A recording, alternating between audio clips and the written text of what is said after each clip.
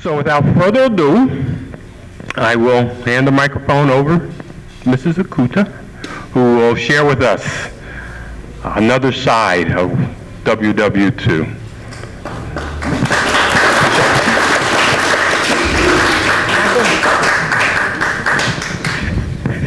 I think it's still good morning time, so I say good morning.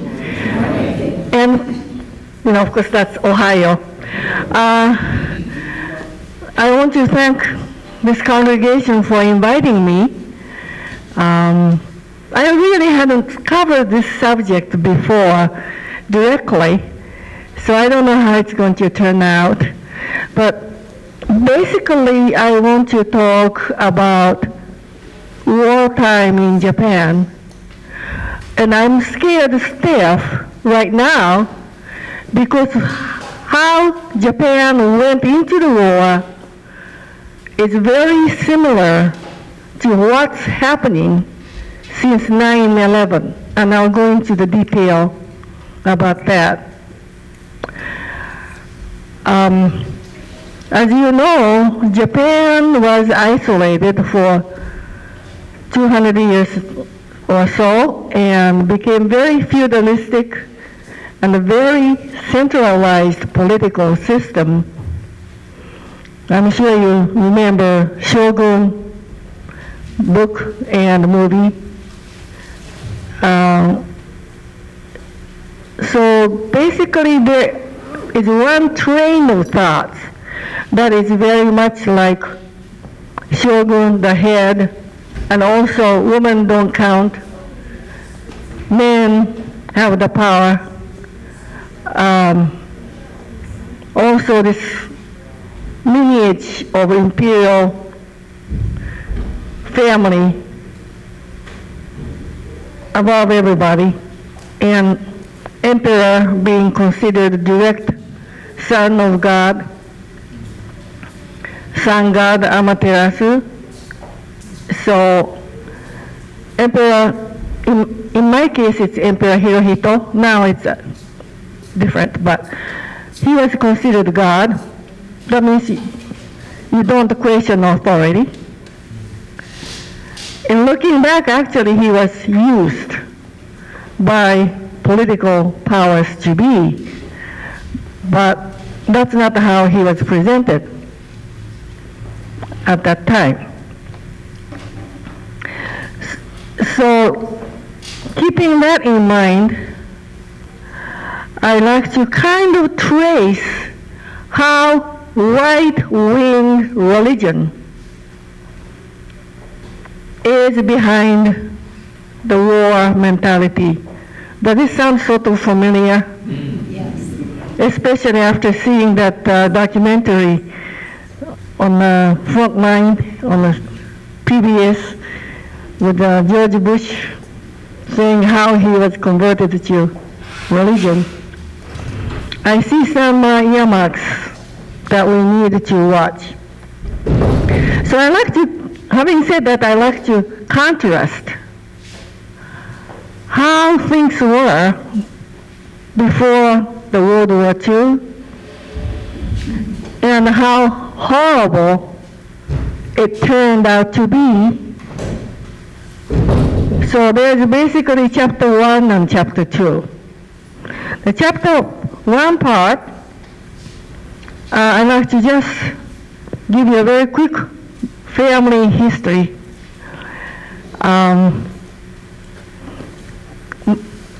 I'm a mixed up kid. I mean, everybody who knows me from a long time ago when I was in and out of this wonderful church would know that I was a mixed up kid. And uh, the reason is, my, it's my parents' fault, you know. because my father came from lineage of imperial family connection. And he was the youngest of eight children, so he didn't develop his own personality very much. He was kind of uh, pushed around by very verbal, strong, older siblings, and again, one of the feudalistic idea is respect your elders, so he didn't have much to say. So my brother's, my father's sister ended up serving in imperial household as a head housekeeper and interior decorator. So she had a very high status job, but she was totally immersed in protocols, traditions, and a philosophy of imperial feudalistic thing. My grandfather, that's my father's father, I guess wasn't a very wealthy person to begin with, but he was a very ambitious person. And uh, in order to get education, he got himself adopted to Shinto leader's family, high priest family. Because of the days the public schools were not readily available over, you know, fourth grade or so. So he became a very well-educated man, ended up being an architect, and um, many other things. If you uh, have gone to some of the temples in Kyoto, there are some floors that squeaks, and it sounds like a bird. It's very artistic, and they call it nightingale floor. But the real idea is there are so many intrigues that even the people who slept in a temple, especially they were high-ranking warlord who was exiled in political intrigues, sort of like, you know, Henry VIII in England was doing pretty strange things. Japan had a few of those, uh, you know, skeleton in closet, and they stayed in those gorgeous, beautiful temples. But they had to sleep with one eye open in case assassin will come and sneak up and cut his head. So they installed this nightingale floor. So you couldn't sneak up without waking him up. When he hears the birds 2 o'clock in the morning, he knows he better grab his own sword and take care of uh, emergency. And my grandfather was uh, in charge of squeaky floor, among other things. Actually, he was in charge of anything that went wrong with imperial buildings. Sometimes when the rain was heavy and roof leaked or something, he had to dash out. So anyhow, that's my father's side. And uh, therefore, I was uh, allowed to go to uh, imperial household to visit my aunt. On the other side, my mother's side is much more westernized.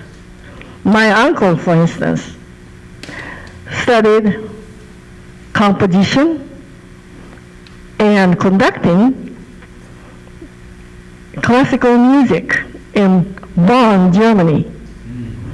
So sometimes he forgot Japanese and he would mumble something in German and we say, hey, talk in Japanese. um, my aunt, who is my mother's younger sister, managed to learn English well enough to work for an export company. So she was typing, you know, royal uh, some typewriter in those days. And she used all American cosmetics.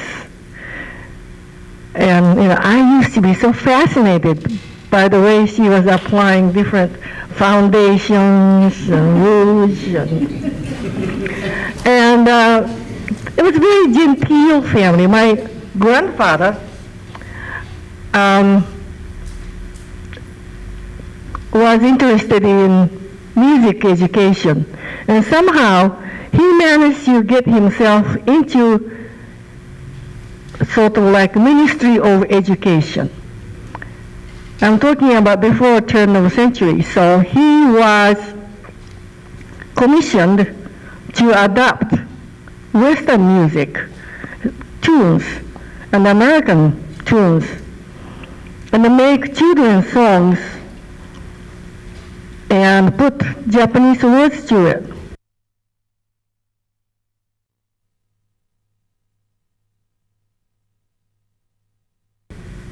So this is why if you look at the Suzuki piano book or violin book of your grandchildren, there are a lot of Japanese music, but it sounds American because they started with American music. So he, his job was very westernized. Therefore, I still remember we had tea time, uh, high tea, British high tea. Three o'clock in the afternoon, everybody comes. We drink Lipton tea. and cookies like what we have over here. And uh, my grandfather, on my mother's side, this uh, westernized musician, was also interested in oil painting. So they had a pretty big garden. Sometimes they have oil painting party. They hire model, not totally nude, Japanese don't do that, but a beautiful woman in western light clothes pose, and three, four people set up easels. And critique each other as they paint. And when I go to a Cleveland Museum of Art and see, I think it's uh, Cezanne or somebody has a painting of a garden painting scene. I always think of my grandfather's painting party. And also he taught music instrument in his own house. And that's all um, Beethoven, you know, things that you're familiar with. So, how did uh, my parents meet and marry? My father, getting back to my father's side, even if they are so traditional right-wing Japanese imperial, he was so cute and so well behaved, he was chosen to be an official playmate for Emperor's cousin. We call it Kayano, call him Kayanomiya. So he didn't have time to study. In Japan, if you don't study very hard, you cannot get into public schools because public schools have more demanding educational level. So he ended up going to Doshisha campus. And Doshisha is a big, sort of like Case Western Reserve, starting with kindergarten skip elementary school, and then junior high school, they call it middle school, and so on and so forth. So he ended up going to Doshisha because it's easier to get in. So he went to Doshisha Middle School.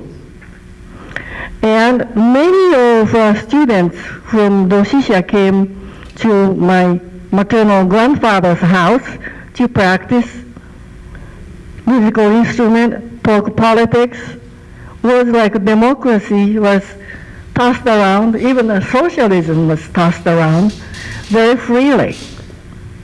And I was only, uh, you know, kindergarten age, so I was just roaming around listening to snippet of those stories.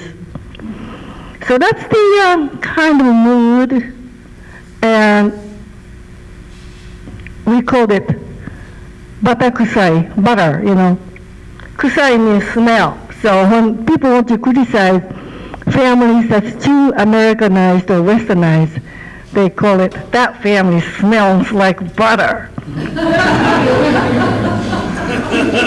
so definitely my maternal side was smelling like butter family, and they do did use a lot of butter. My uh, grandmother on the maternal side ended up ended up with a stroke. Maybe she used too much butter. so you can see that was pretty progressive, so-called democratic, and women were treated very well. Well, of course, my grandfather, poor man, didn't have a choice. There were four girls, no boys.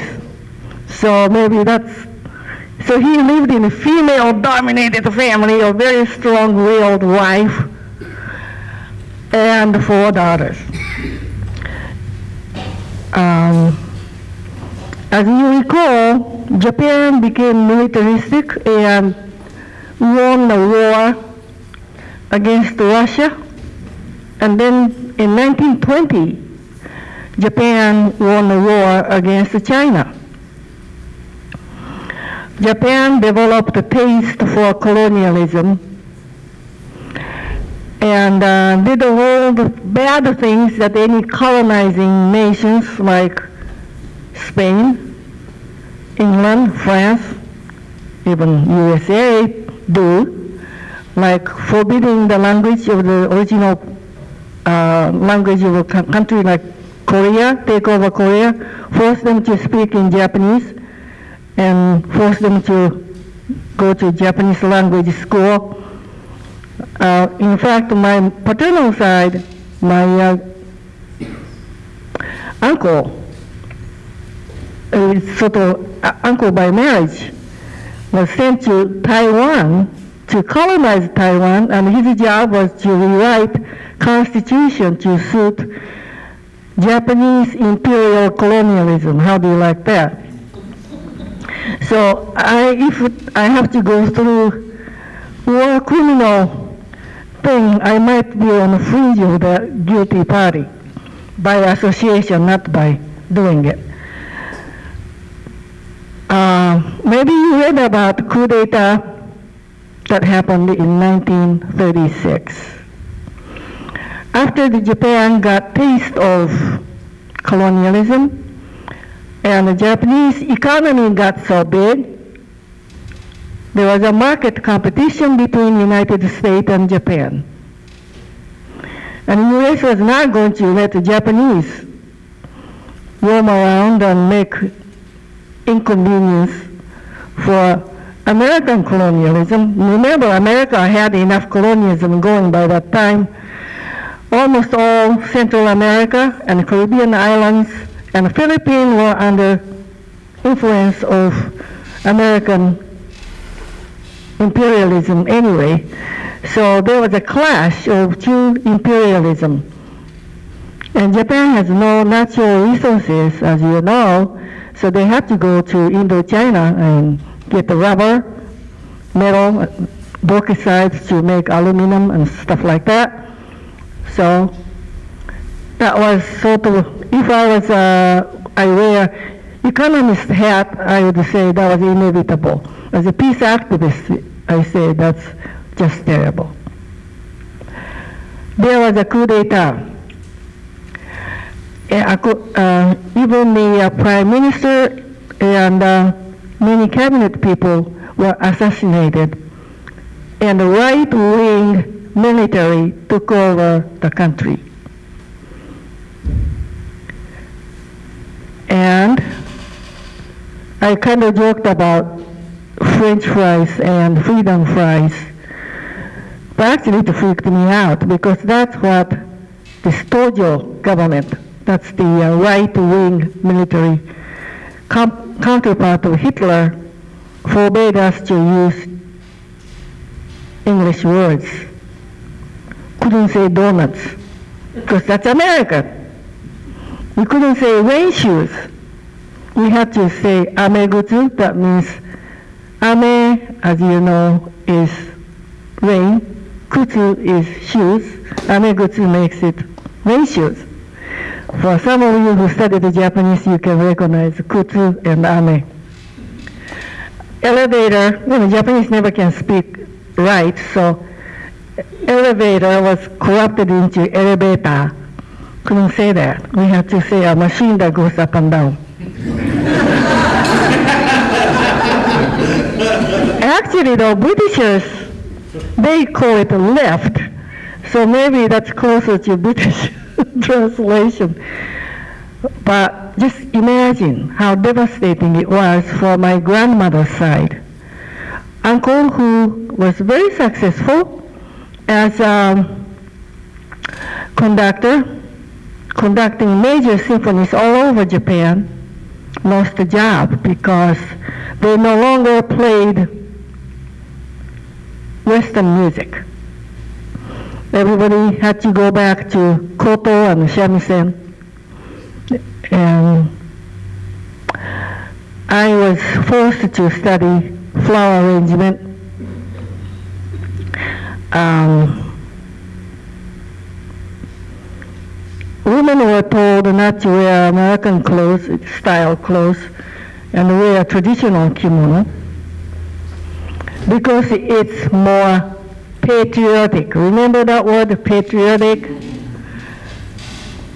Anything that you don't agree with Tojo is unpatriotic.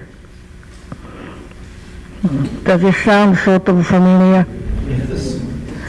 Um, and another theme I think I started out saying is that watch out for right-wing religion. Actually, there's a gentleman called uh, John Deering. He lives in Lorain, Ohio. He wrote a book called Is God Man or Woman? He concluded that right-wing religion is a basic ingredient in organizing the country to go into war and stay in the war. And he listed many examples from different parts of the world at a different time. But just stop and think. Usually, we end up going into the war for God's sake, not people's sake. And I'm not saying that all the religion is bad, but those people in power seem to know how to use religion and the mysteriousness and illogicalness part of religion to unite the people to go into war. That's exactly what Tojo did.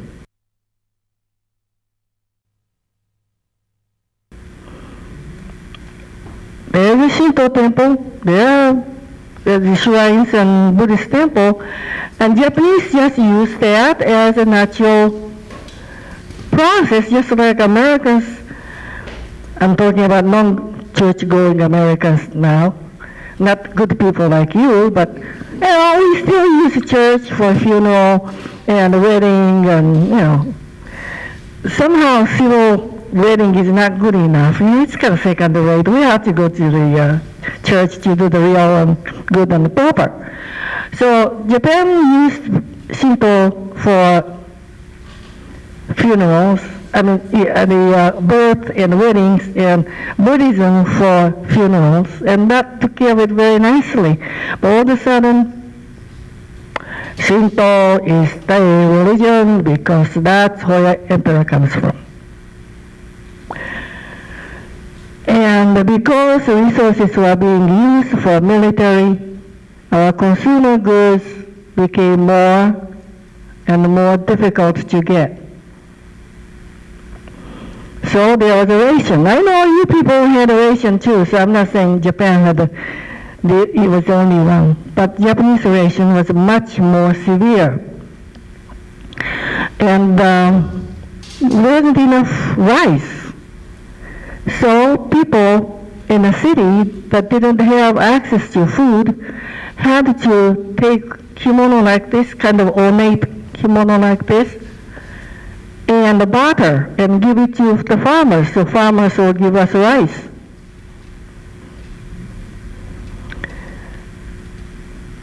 And uh, my family said, uh, well, it's about time to get out of Tokyo. The uh, many soldiers were coming back in a little square box.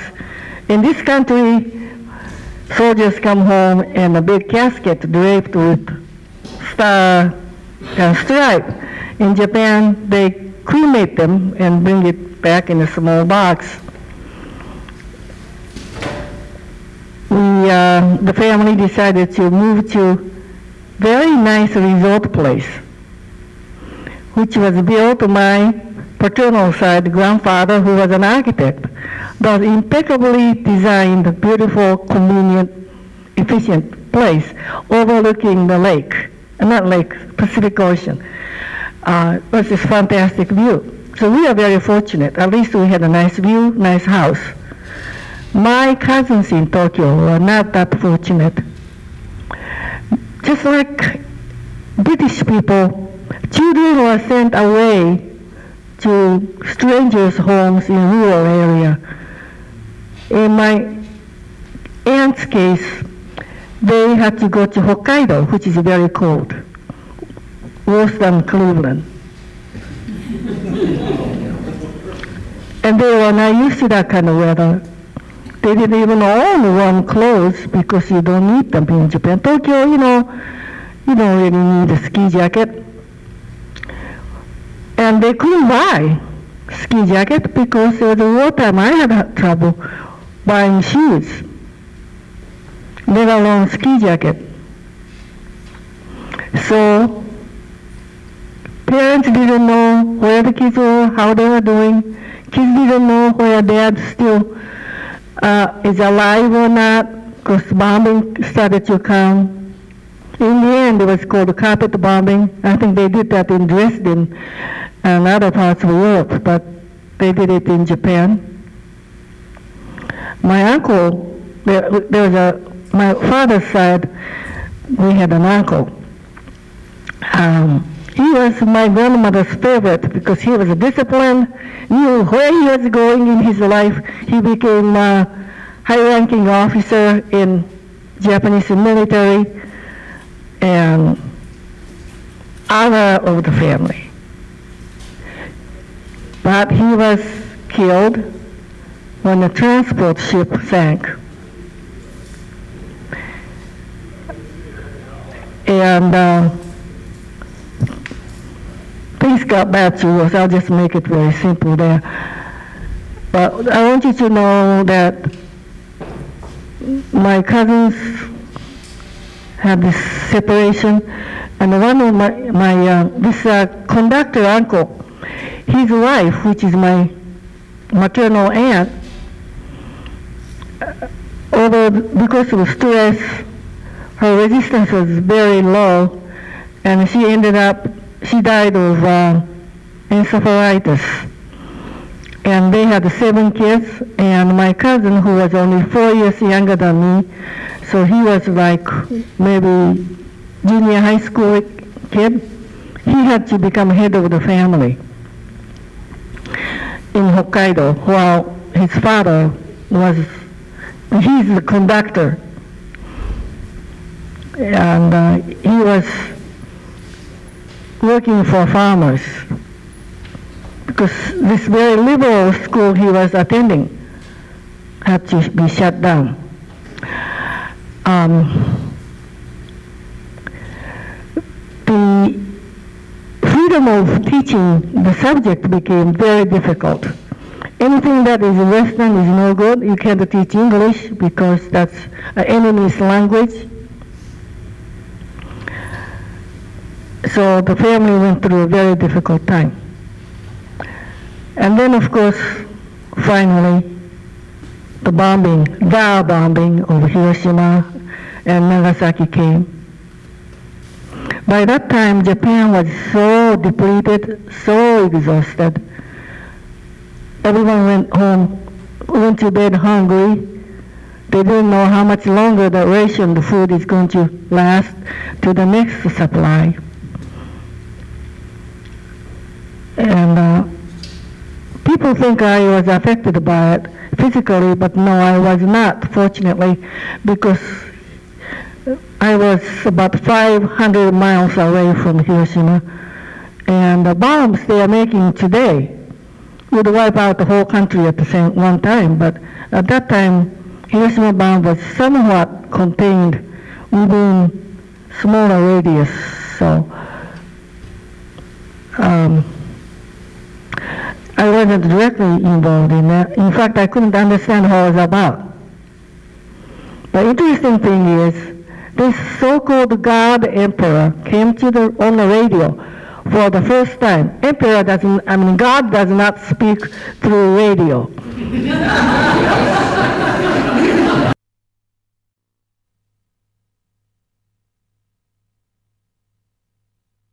you are really psychotic, and some people might think so.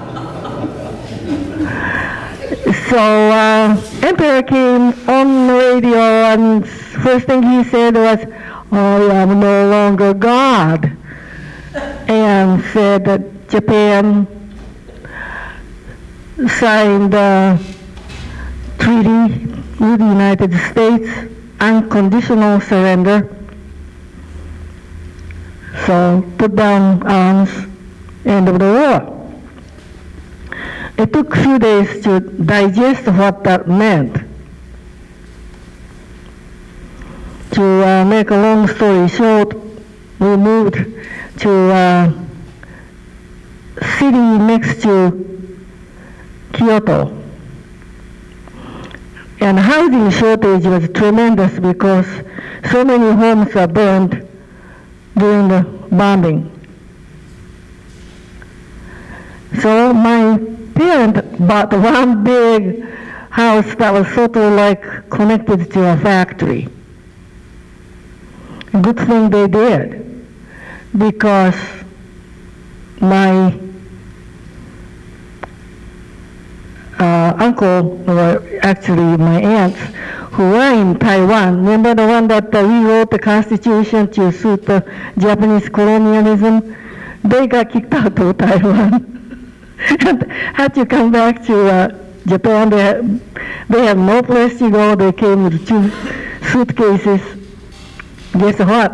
My parents' home became refugee camp. So um, that was connection is my father's oldest sister went to Taiwan when she married this lawyer, and uh, they lived very well. You can imagine, you know, attorney on a high-ranking position, they can have um, some maids and servant and have it pretty nice. Uh, actually, so that family came back. By that time, the man died, so it was just my aunt and their children. The another family, this military officer who was supposed to be so successful, who sank on a boat so he and his, his family came. So I think we had about 10 people living in a, one house, one old-fashioned kitchen with one sink, two bathrooms. Oh, and I have this aunt who served in the imperial household. I think I told you that. He was a retirement age anyway, but Anyhow, his job, her job was terminated. She lived very nicely inside the palace ground with the three maids had to come back. And she used to lecture us and sort of criticize my parents for not being able to manage money well. But give me a break, you know. He's a single woman with no children to pay for, and his, her room on the board was taken care of because she lived in an apartment inside the palace ground. And my father, he tried, but he has rented to pay, raise me and my brother. And of course, you know, they are little unorganized people, I must say, and I took after them. But anyway, so they my aunt used to criticize, how come they can't save money? They are wasting money, etc., etc. But you know what the joke was? Whole country was so poor. The bank could not give you a cash anymore. So they had so-called withdrawal moratorium. I never heard the English word moratorium until I saw it in katakana moratorium. Now what does that mean? That means you can cash your check or pull out of your saving account. Irony was my aunt was as broke as the rest of us.